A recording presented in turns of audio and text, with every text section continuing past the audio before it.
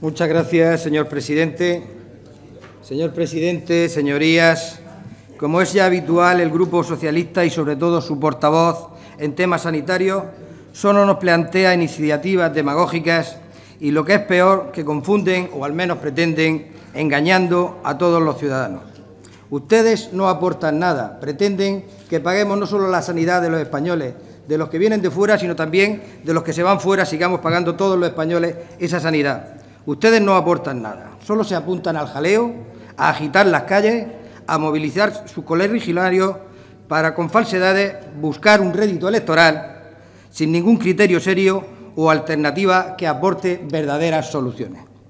Dicen que no sabemos gestionar las cuentas públicas y luego sus planteamientos son, como se dice en Andalucía, una jartá de falacias que acarrean unos costes irracionales en perjuicio del bienestar general de todos los españoles. Señora Rosique, le voy a desmontar una a una todas sus mentiras. No es cierto que el Gobierno deje sin tarjeta sanitaria a quien pasa tres meses fuera sin cotizar en España. Todos los españoles y residentes legales tienen garantizado el acceso asegurado mientras resida en España y si ha salido fuera del país, cuando regresan desde el minuto uno, tienen otra vez cobertura, desde el minuto uno. La enmienda introducida por el Grupo Popular en la Ley de Presupuestos es una medida que pretende corregir los abusos producidos en la sanidad española, que iban en perjuicio, como he dicho, de todos los españoles, ya que personas de otras naciones que cuando habían trabajado en España y luego regresaban a su país, cargaban todos los gastos que hacían allí a las cuentas de España y además sin límite de tiempo. Estaban recibiendo fuera una asistencia sanitaria, pero girando las facturas a España y a todos los españoles con el consiguiente gasto de esa prestación. No es lógico que quien no se encuentra en España continúe disfrutando para siempre de una cobertura sanitaria con cargo a todos los españoles. Cualquier español que se desplace temporalmente a países de la Unión Europea y Suiza por vacaciones, Erasmus u otros motivos, tiene cobertura sanitaria a través de la cartilla sanitaria europea. En cuanto a los españoles que trabajan en el extranjero, tienen su sanidad cubierta con la seguridad social de sus países, como es un tema claro de corresponsabilidad europea. Cuando estas personas deciden regresar a España, desde el primer día, desde el primer día, tienen garantizada la cobertura en el Sistema Nacional de Salud. La medida también afecta a los ciudadanos españoles que hayan agotado su prestación por desempleo o cualquier otro subsidio y se encuentren en otro país, pero nunca cuando están en nuestro país.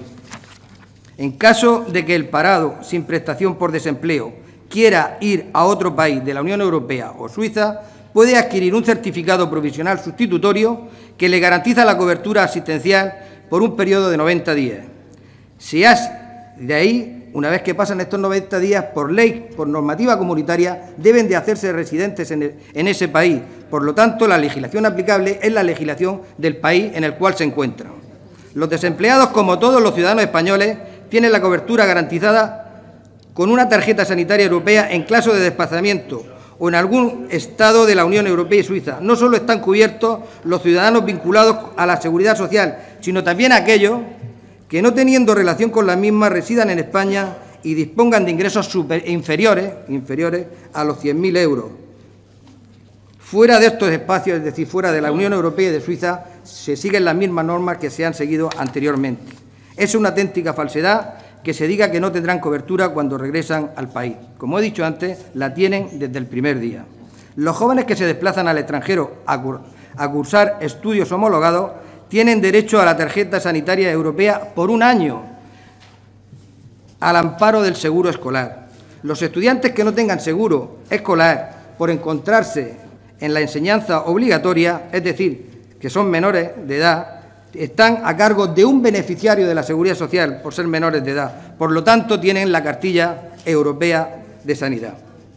Mire, señora Rosí, que los políticos estamos para solucionar problemas no para crearles problemas y preocupaciones a los ciudadanos como ustedes hacen. Se ha de transmitir un mensaje de tranquilidad a la población y dejar claro que cuando se regresa a España desde el minuto uno tienes otra vez la cobertura sanitaria aunque no tengas trabajo. Se están haciendo una manipulación, ustedes, los señores, eh, usted, señora Rosique, está haciendo una manipulación de esta medida para hacer creer a los ciudadanos que pueden perder su asistencia cuando ningún residente en España puede perder su derecho a la misma. Las comunidades, como ustedes dicen, socialistas, que no quitan las prestaciones, esto quiere decir que cuando un trabajador venga 15 días, un trabajador extranjero venga 15 días y se vaya a su país, nosotros vamos a tener que seguir pagándole la cobertura sanitaria de la demanda que él haga allí. Por lo tanto, va en perjuicio de los ciudadanos españoles. Además hay que recordar que ustedes, los socialistas, en el año... Voy terminando, señor presidente. En el año 1992 ya retiraron la cobertura de prestaciones sanitarias a los parados sin subsidio de empleo a través del decreto ley 1 barra 1992 de 3 de abril. Por lo tanto, no digan ustedes esas, esas cosas. Y además hay que recordar que con ustedes, con los socialistas, todos los parados de España, cuando compraban una medicina en la farmacia, tenían que aportar el 40%. Con el Partido Popular no pagan un duro, ni un céntimo. No creen no creen alarma social ni manipulen las cosas. No mientan más a los murcianos sobre este asunto.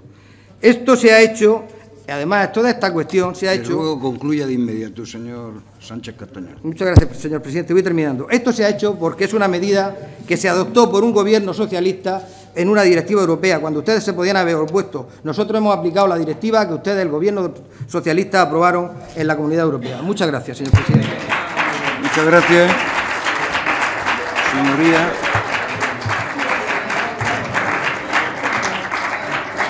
Por el Grupo Parlamentario Socialista tiene la palabra doña Teresa Rosique. Gracias, señor